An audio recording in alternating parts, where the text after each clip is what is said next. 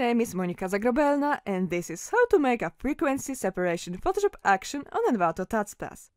Although retouch is an art that requires time and skill, Photoshop actions can automate some of the repetitive tasks. In this tutorial I'll show you how to create an action in Photoshop to automate one of such tasks.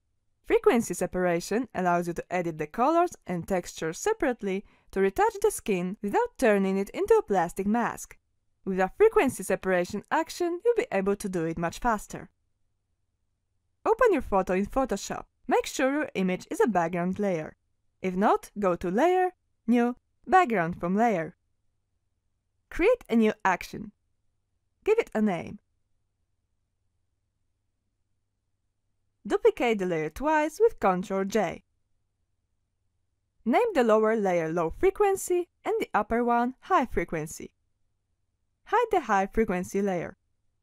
Select the low frequency layer and go to Filter, Blur, Gaussian Blur. Adjust the radius to remove most of the details. We want this layer to contain colors, but not texture. Show the other layer and change its blend mode to linear light. Go to Filter, Other, High Pass. Adjust the radius to bring the texture back. Keep it subtle, trying to avoid the glow. Click Stop Recording. The problem with this action is that every photo needs a different radius for blur and high pass. To make it more universal, check the square next to these positions on the list. Now, every time you play the action, you'll be asked to adjust the radius manually. Here's where the action ends. Now you have two layers. Low frequency contains colors, and high frequency contains texture. You can edit them separately. First, hide the high frequency layer. Use the healing brush tool or the clone stamp tool to replace the colors and tones that you don't want to see with colors from other areas.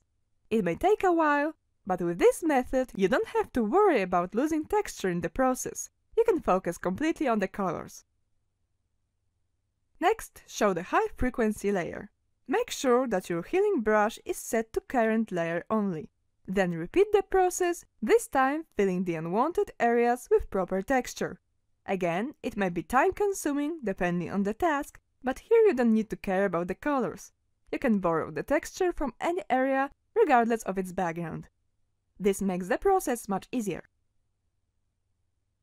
Now you know how to create frequency separation action in Photoshop. I hope you enjoyed this tutorial and thanks for watching.